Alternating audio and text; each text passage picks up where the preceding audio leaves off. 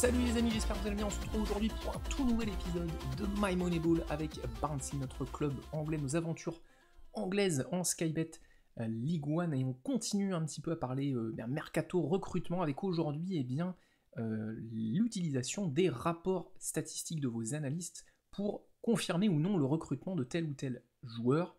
Avant de démarrer là-dessus, je vous avais promis lors de la dernière vidéo de faire un petit point d'ailleurs sur le mercato, donc on va aller faire ça tout de suite.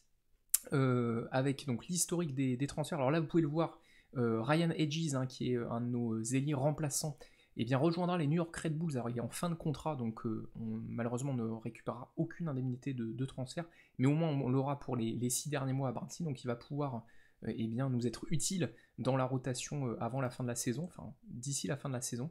Et donc voilà l'historique des transferts euh, avec donc la vente hein, de Brad Potts, hein, je vous l'avais présenté lors du dernier épisode, une vente possible du côté de Sunderland, bah ça c'est fait 750k. je crois qu'il doit y avoir des primes, ça doit être 500k dans mes souvenirs, c'est ça, c'est 500k cash plus 250 en versement biannuel. Donc on a récupéré eh l'argent qu'on voulait, donc c'est très bien. Et les deux autres transferts, hein, ce, sont des transferts qui étaient déjà actés en tout début de partie. Euh, je crois que je vous en ai parlé également. Le départ de Tom Bradshaw, alors, euh, qui était prêté à Millwall, donc c'est un prêt avec option d'achat pour 1 euh, million de, pounds. Et l'arrivée de Coley Woodrow, qui était déjà hein, du côté de, Barnsley, en prêt également avec option d'achat, qui arrive pour 600K. Donc vous voyez, la balance est quand même largement positive, hein, puisque on a réalisé un bénéfice pour l'instant d'un million d'eux, donc pour un club de notre stature, c'est vraiment pas mal. Euh, et si on va faire un tour au niveau des finances, bah, tout se passe pour le mieux. Euh, un solde général pas loin des 4 millions, euh, des bénéfices à 1,5 million. Et sur le plan sportif, ça se passe très très bien, que ce soit en championnat ou même en cup, puisqu'on a réussi à passer deux tours. là, je fais une petite digression par rapport aux vidéos. C'est vrai que d'habitude, j'ai pas forcément le, temps, enfin en tout cas le, plaisir de vous montrer un petit peu les, résultats qu'on obtient. je laisse entre guillemets ce plaisir-là aux lecteurs de FMS Life. Euh, mais voilà, on a réussi à passer deux tours, notamment hein, ce, formidable succès du côté de West Ham, penseur de Première Ligue, 2-0 euh, lors du troisième tour. Euh, et on a éliminé le club de, Championship Rotherham 3-0, hein, une défaite quand même assez sèche pour nos adversaires, mais totalement méritée. et on affrontera du coup Aston Villa, autre club de Championship, mais cette fois à l'extérieur. Hein, le cinquième tour, on est déjà au huitième de finale. Et donc ce sont quand même deux performances, là, ces éliminations de West Ham et de Rotherham, qui nous ont rapporté pas loin de 300k, si mes souvenirs sont bons, peut-être même un petit peu plus. Euh, donc c'est bien, on passe des tours en cup et, euh, on fait de l'affluence. Hein. vous voyez, euh, quasiment 16 000 supporters du côté de, de Hawkwell pour, pour ce, quatrième tour de, la FA Cup. Donc ça ramène de l'argent, hein, les tribunes forcément remplies, et également donc les, primes de, compétition. Donc je vous le disais aujourd'hui, on va s'intéresser au rapport d'analyste, au rapport statistique. en gros, qu'est-ce qu'on va faire aujourd'hui? On va reprendre en fait notre sélection euh, donc ça devait être l'épisode, alors pas le dernier, mais l'avant-dernier où euh, on avait fait notre petite sélection, la Mercato, euh, avec donc une liste de joueurs à observer. Donc j'ai envoyé mes différents scouts observer les joueurs, et vous pouvez voir que donc pour la plupart, eh bien, le rapport est complet, 100% hein, au, niveau, au niveau du niveau de connaissance. et donc du coup, bah, on va regarder pour chacun de ces joueurs si oui ou non on peut valider le recrutement en fonction des rapports d'analyse. Donc ça j'en parlais dans mon guide du Moneyball. Comme toujours, hein, les liens sont euh, dans la description. Euh, j'ai créé, euh, j'ai imaginé cinq profils en fait tactiques pour répondre à vos besoins justement en termes tactiques. donc ces cinq profils sont donc il y a le profil gardien, le profil protecteur, le profil créateur, le profil percuteur et le profil buteur. Et en fonction de ces profils-là, eh bien vous avez des statistiques à regarder. donc si je prends par exemple le profil créateur, euh, eh bien, les statistiques importantes à regarder, ce sont eh le nombre de passes décisives, le nombre de passes clés, euh, le nombre d'occasions créées et le pourcentage de passes réussies. Euh, alors, comment valider ou non un recrutement? On reste sur ce profil créateur, on imagine que vous cherchez, je ne sais pas moi, un meneur de jeu avancé, tâche soutien. Là, clairement, c'est vraiment le profil tactique adapté, donc justement à un créateur, on va dire. une tâche attaque, j'aurais peut-être associé ce profil créateur avec un profil percuteur. Mais là, on va rester sur un meneur de jeu avancé vraiment tâche soutien, euh, donc euh, le profil créateur. Euh, en fonction donc du coup de son rapport d'analyse, eh bien vous allez pouvoir regarder en fait les points forts et les points faibles de ce rapport. et donc du coup, il y a trois conditions à respecter. La première, c'est que il y ait au moins une des statistiques qui correspondent à son profil qui eh soit située dans la colonne des points positifs. Et à contrario, il ne faut aucune statistique correspondant à son profil dans la colonne des points négatifs. Donc ça, ce sont les deux premières conditions.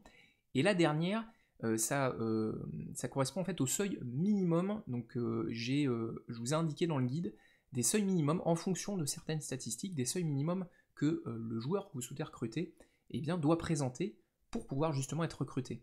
Euh, donc, euh, et je donnais un exemple dans le guide, il me semble que c'était pour le, profil buteur. Euh, en gros, il faut que, eh bien, si vous recrutez un attaquant, il faut qu'il ait au moins 33% de taux de tir cadré et 17% de taux de conversion. Donc le taux de conversion, il y avait pas mal de, personnes qui m'avaient posé la question après la publication du guide. Le taux de conversion, en fait, c'est le nombre de buts inscrits par l'attaquant divisé par le nombre de tirs tentés. Voilà. Donc il faut que euh, eh bien, ça soit au-dessus des 17%. Donc je vous renverrai tout ça, enfin je vous renvoie au guide, euh, il y a un tableau hein, que, j'ai fait, donc euh, je pense c'est assez clair. Mais encore une fois, hein, si vous avez des interrogations, n'hésitez pas à m'en faire part, que ce soit donc sur YouTube, sur FMS Live ou sur Twitter.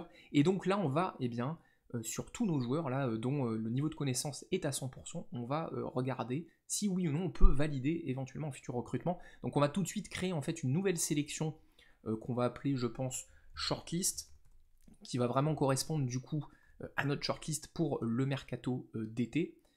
Et on va reprendre donc du coup notre sélection mercato avec tous les joueurs. Alors le premier c'est Charlie Brown, un attaquant anglais. Donc on va aller tout de suite dans son rapport d'analyste. Et donc attaquant, qui dit attaquant dit profil buteur. Donc le profil buteur, euh, il y a trois stats importantes, le nombre de buts, le pourcentage de tir cadré et le pourcentage en, tant, que taux de conversion. Donc il faut qu'il y ait au moins une caractéristique, euh, une de ces stats dans les points positifs. C'est le cas. Euh, on en a même. alors, le nombre de tirs n'est pas forcément important, mais on a au moins le nombre de buts. Donc, on peut voir que c'est dans la colonne des positifs. Et à contrario, on n'a aucun point négatif parmi les stats du profil. Donc, pour l'instant, tout est nickel. Par contre, il faut maintenant regarder euh, en termes donc de pourcentage de tir cadré et également en tant que, euh, au niveau du pourcentage pardon, euh, sur le taux de conversion. Et donc là, on peut le voir. Donc les tirs cadrés, c'est très bien puisqu'il est à 50%. Par contre, le taux de conversion n'est pas bon puisqu'il est à 1 but sur 8 tirs tentés. 17% c'est un but tous les 6 tirs à peu près. Donc là, il est en dessous de ce taux de conversion là. Maintenant, pouvez voir que euh, en termes de match, euh, il n'en a joué que 4. Donc c'est vraiment très très faible pour euh, estimer, on va dire, le, taux de conversion.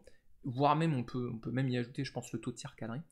Donc là, bon, Charlie Brown, on est vraiment à la limite. Moi, je pense qu'on va quand même le mettre dans notre shortlist parce que c'est un joueur qui a énormément de potentiel. vous voyez, hein, il est quasiment à 5 étoiles. Hein. En tout cas, il y a une, demi-étoile cachée. Il a déjà un très bon niveau actuel. Et euh, voilà, le niveau de recommandation de recrutement est quand même de 92. Donc je pense qu'on va faire une petite digression. On est vraiment pas loin, je trouve, en termes de taux de conversion. Et en plus, donc rajouter au fait, comme je vous l'ai dit, qu'il a joué très peu de matchs, je pense qu'on peut quand même se permettre de mettre euh, Charlie Brown dans notre shortlist. Donc on va euh, l'ajouter, enfin on va même le déplacer, comme ça il ne parasitera plus entre guillemets la sélection Mercato.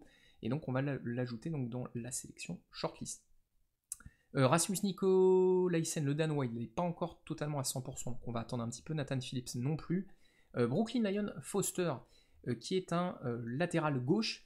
donc du coup, dans notre tactique, nous, le latéral gauche, il est plutôt offensif, donc je partirai plus sur un profil, on va dire, percuteur, donc trois stats, les dribbles, les centres réussis et la distance parcourue. Donc si on va voir le rapport d'analyste, dans les points négatifs, c'est bon. par contre, si on regarde au niveau des points positifs, il n'y a aucune des stats de percussion qui est dans les points positifs. Donc lui, on va l'éliminer simplement Brooklyn, Ian Foster, euh, on ne le mettra pas dans notre shortlist. Euh, on continue avec Vonte, Daly, Campbell, arrière droit. Donc le côté droit, euh, c'est eh bien un côté, on va dire, complémentaire avec le côté gauche. On a un côté gauche plutôt offensif, on a un côté, droit pardon, plutôt conservatif. Donc là, vraiment, le profil qu'on va chercher pour notre arrière droit, c'est plutôt un profil protecteur. 4 stats clés, les tags décisifs, les interceptions effectuées, le pourcentage de têtes remportées et le nombre de têtes clés. Et donc au niveau du rapport d'analyste, euh, on peut voir qu'il y a déjà une statistique éliminatoire. Euh, il s'agit des interceptions effectuées puisqu'il est dans euh, les points négatifs. Donc pas de Vanti Deli Campbell dans notre shortlist. On continue avec Julio Pleguezuelo. Je me souviens que j'avais eu du mal à le dire il y a un ou deux épisodes de, ça. défenseur central, donc là clairement également le même profil, protecteur. Et au niveau du rapport d'analyste, on peut voir que eh il a les interceptions effectuées au niveau des points positifs, donc très bien, et pas de points négatifs au niveau des stats clés. Et par contre, il y a un seuil minimum, c'est le nombre de têtes remportées. Et donc si on va voir plus en détail au niveau de ces stats, on peut voir que au niveau donc, de ce pourcentage de têtes réussies, il est à 100%. Donc lui, il rentre parfaitement en compte dans notre stratégie de, recrutement. Donc euh, l'espagnol, on va l'appeler espagnol, ça va être un petit peu plus simple. Euh, on va le déplacer du coup dans notre sélection shortlist. Voilà. Euh, Ronaldo Tavares, il n'est pas encore à 100% en termes de niveau de connaissance. Will Dennis, le gardien anglais. Donc on va aller voir le rapport d'analyse. Donc pour les gardiens, il y a trois stats clés clean sheet, arrêt bloqué et arrêt. Pas de point positif, pas de points négatifs, donc bon, on élimine puisque malheureusement il n'y a aucune des trois stats qui est dans la colonne des points positifs. On continue avec Joseph Olowu, le euh, Nigérian, également d'Arsenal, hein, comme l'espagnol. Euh, alors pardon, c'est pas le rapport de recruteur, du recruteur. Alors chose importante que j'ai pas faite, moi après là on a, euh, on, a comment dire, on a pour l'instant présélectionné, enfin sélectionné plutôt deux joueurs anglais. C'est dans le cadre fait de joueurs étrangers. donc c'est le cas par exemple du Nigérian Joseph Olowu. Bien regarder dans le rapport du recruteur euh, si dans le contre, euh, il n'y a pas euh, une histoire d'adaptabilité, hein, des, soucis à s'adapter à la vie à l'étranger. Donc là, par exemple, c'est pas le cas de Hollowwood, donc tout est nickel. Et au niveau du rapport d'analyse, donc défenseur central, profil protecteur, il a malheureusement les interceptions effectuées pardon, au niveau des points négatifs. Donc on ne va pas le sélectionner. Renat Dadazov, azerbaïdjanais, donc là par exemple c'est le cas typique. On va aller voir le rapport du recruteur. Et vous pouvez voir que dans la colonne des comptes, il y a euh, un souci, il y aura un souci au niveau de l'adaptabilité. Donc on élimine, hein. on est vraiment voilà, carré, rigoureux là-dessus. On l'élimine tout de suite euh, de notre euh, on continue l'heure avec un norvégien, donc White, mais le niveau de connaissance n'est pas à 100%, donc on va attendre un petit peu. L'allemand Adrian Fein, donc là pareil, vu que c'est un étranger, on va aller voir le rapport du recruteur, il n'y a pas de souci d'adaptabilité, on va aller voir le rapport d'analyste. Alors lui c'est plutôt un milieu défensif de base, euh, maintenant, on peut voir qu'il est quand même pas trop mal, je trouve, euh, en termes techniques. Il a plus un profil, on va dire, de meneur de jeu en retrait. Euh, donc clairement, moi, je choisirais plutôt pour Adrian Fine un profil, on va dire, créateur. Donc notre meneur, de jeu en retrait, pardon, au niveau de notre 4-4-2. D'ailleurs, ça me fait penser que j'ai oublié de vous dire qu'il y a eu des prolongations de contrat. On fera peut-être un petit point euh, à la fin de, l'épisode. Donc pour le profil créateur, je, je crois qu'il me semble que je vous avais donné les stats tout à l'heure, les stats clés, passes décisives, passes clés, occasion créée et le pourcentage de passes réussies. Et on peut voir malheureusement qu'au niveau des passes clés, euh, il fait partie, euh, bah, en tout cas la stat des passes clés fait partie des points négatifs. Donc on va éliminer du coup Adrian Fine. On continue avec, alors Rosette il n'est pas à 100%.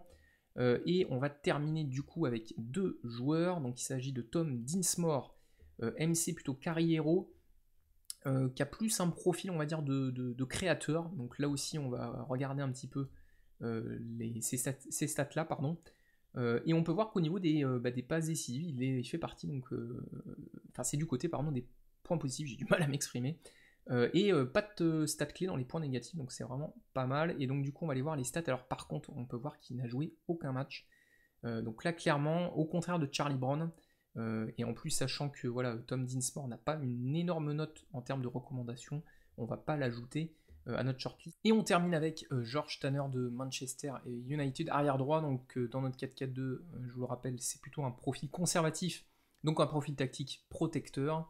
Et au niveau du rapport d'analyste, bah, on peut voir déjà qu'il n'y a aucune stat clé dans les points positifs, donc c'est déjà éliminatoire. Et en plus, la stat des interceptions effectuées fait partie des points négatif. Donc c'est vrai que ça fait pas énormément hein, pour l'instant euh, en termes. Alors il nous reste quand même quelques joueurs à, observer complètement, donc euh, peut-être que ça pourra se rajouter dans notre shortlist. Mais vraiment voilà, on, part, hein, comme, euh, comme vous l'avez vu lors des précédents épisodes, on part quand même d'une grosse sélection qu'on affine en fait petit à petit.